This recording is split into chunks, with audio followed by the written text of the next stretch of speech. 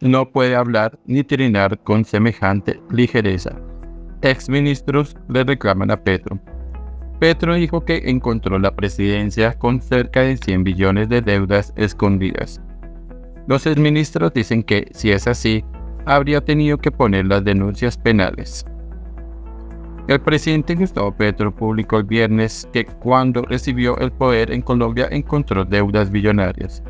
Los señalamientos no cayeron bien en exfuncionarios estatales quienes respondieron al mandatario en la misma red social.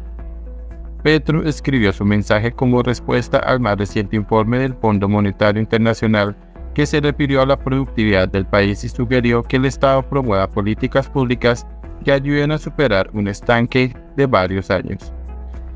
Recibimos un país con una realidad presupuestal manejada a las patadas, con cerca de 100 billones de deudas escondidas, empeñado y con uso del erario dedicado exclusivamente a los grandes negocios del cartel nacional de la contratación, dijo el presidente.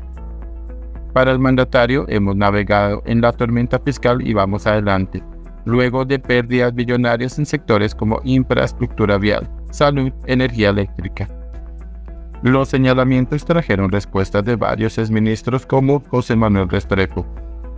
El exministro de Comercio del gobierno de Iván Duque le pidió al jefe de Estado una lectura completa, reposada y cuidadosa del informe, pues en el documento podrían resaltarse puntos positivos del pasado y retos para asumir en el presente.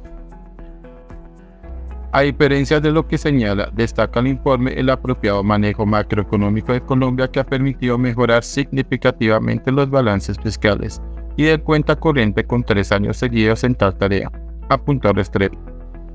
El exdirector de la Universidad de Rosario manifestó que el fondo también destaca el apoyo que el país recibió con la línea de crédito flexible que la misma entidad le ha facilitado a Colombia pese a que entiendo que a usted no le gusta dicha línea.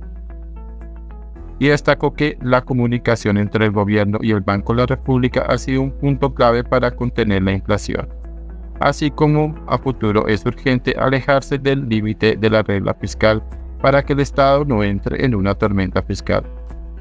Mientras que el exministro de Agricultura de Juan Manuel Santos y ex jefe de equipo negociador del gobierno con el ELN, Juan Camilo Restrepo, cuestionó de dónde sacó Petro la cifra de 100 billones de deudas escondidas del erario público. La deuda pública de la nación no está acaso registrada en los libros de la contabilidad oficial que lleva el Ministerio de Hacienda y que audita la Contraloría, reprochó el abogado quien calificó a lo dicho por Petro como algo muy grave. Restrepo aseguró que un presidente de la República no puede hablar ni trinar con semejante ligereza sobre todo porque gran parte de los seguidores de Gustavo Petro son fanáticos energúmenos a lo que poco les importa el contenido de su streamer. La presidencia habría tenido que poner las denuncias penales que ameritarían estas afirmaciones presidenciales en caso de ser ciertas, pero no lo son. Es el resultado de un lenguaje mendaz, que viene de un presidente desesperado con su baja popularidad, sostuvo.